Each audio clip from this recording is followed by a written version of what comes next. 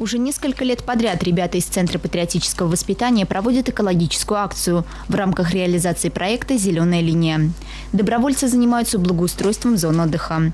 Совсем недавно волонтеры очищали от бытового мусора водоем «Юбилейный», расположенный в восточном микрорайоне города. За пять часов инструкторы и курсанты учебной группы патриотического центра ликвидировали несколько стихийных свалок, а также провели работы по очистке лесополосы вокруг водоема от бытового мусора, оставленного недобросовестными отдыхающими. Кроме этого, ребята провели большую работу по очистке поверхности самого водоема. С помощью сети они вылавливали водоросли и тину. Подобные акции проводятся ребятами из центра уже не первый раз. Приятно отметить, что с каждым годом увеличивается количество волонтеров. Мы собираем крупногабаритный мусор, э, очищаем, соответственно, прилежащую территорию к данному пруду.